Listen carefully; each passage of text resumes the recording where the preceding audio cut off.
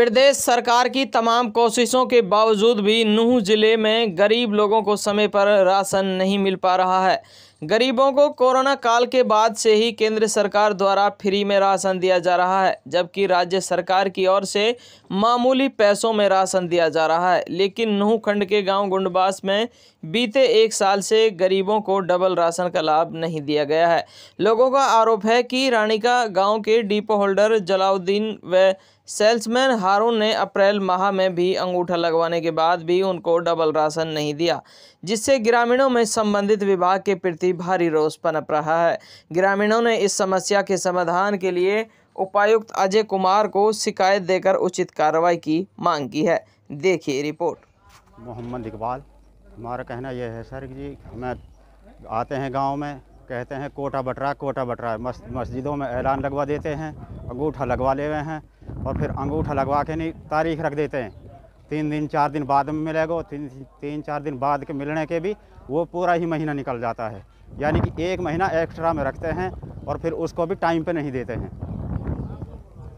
क्या चाहते हो आप हम ये चाहते हैं जी प्रशासन से जो हमारा हक है हम बीपीएल में हैं हम गरीब मानस हैं और जी हमारा जो हक है हमारे लिए टाइम पे दिया जाए और जो हमारी जो मांगे हैं वो हमारी पूरी की जाएँ। लेने के लिए जाते हैं। ये सबसे बदतमीजी से बोलता है, किसी के लिए गाली देता है, किसी के लिए कुछ कहता है। और जो है कि ये जैसे मान के चलो मैंने ऑब्जेक्शन उठा दिया, भाई मेरे लिए क्यों नहीं दे रहा तू कोटा? तो उसी के लिए बोरी पकड़ा देता, ले तू बोरी ले जा, और को मैं देख लूँगा बाद में। सब के लिए यही काम करता, जो कहता, उसी के लिए एक बोरी दी और छुट्टी उसके लिए। उसका काम तो हो गया, लेकिन ये और जो गाँव के गरीब बंदे हैं, ये कहाँ जाएँगे? गरीब का तो कहने वाले को तो ये बोरी दे देते हैं, जो नहीं कहता है उसको गले काट देते हैं।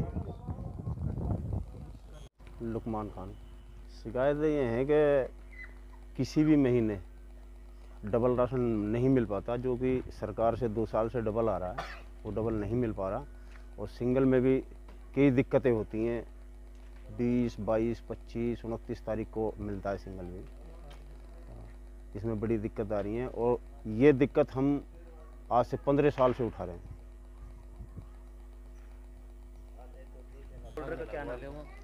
डिपो होल्डर का नाम है जलालुद्दीन। का राशन नहीं मिला अभी। और जो कोटा धारक है, जो डिपो होल्डर है, जलालुद्दीन, वो पढ़ा लिखा आदमी भी नहीं है। ठीक है? बाकी एक बार का भी देते हैं, जब लोग वहाँ जाते हैं राशन लेने, सबसे बदतमीजी करते हैं। मारपीट भी हुई है कई बार। राशन सही, सलामत कभी भी किसी भी महीने में नहीं मिला।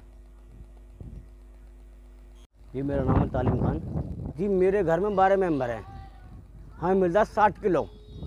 और आप बोल रहे हैं कि भाई, एक महीने में एक बंदे का दस किलो मिलना चाहिए, लेकिन मुझे मिल रहा है पाँच किलो। तो दस किलो क्यों नहीं मिल रहा? ये सर ये देता नहीं है डिपो होल्डर। क्यों नहीं देता?